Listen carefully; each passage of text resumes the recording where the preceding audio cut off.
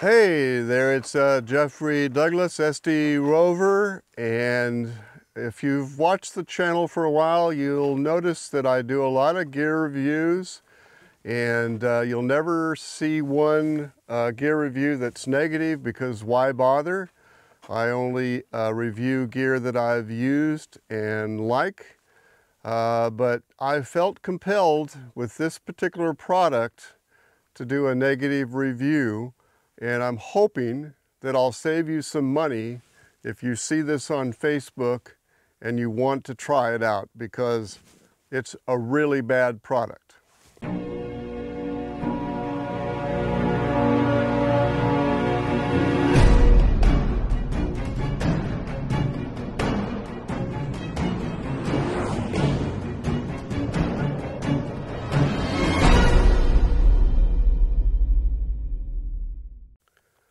So here it is. It's called the PeeSport and it's uh, marketed as a very great way to have the ability to urinate uh, in your car or off grid.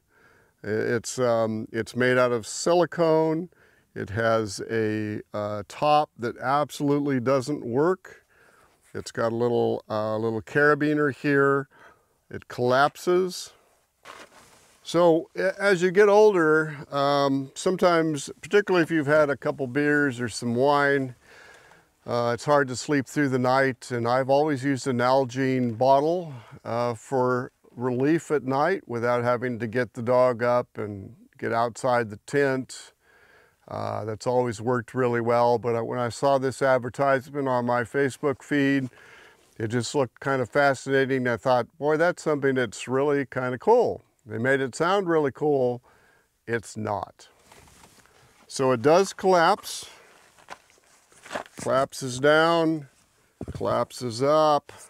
It is made out of silicone, uh, BPA free, which of course is really important because you're going to drink out of this, you know, right?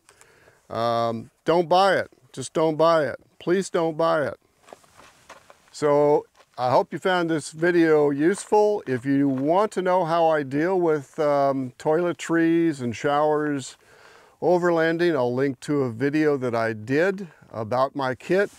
But as for me, I'm going back to my, Nal my trusted Nalgene bottle, which doesn't fall over in the tent, doesn't leak, it does the job. So if you found this useful, please like and subscribe. If you see me out and about, be sure to stop and say hi. And uh, remember, get outside.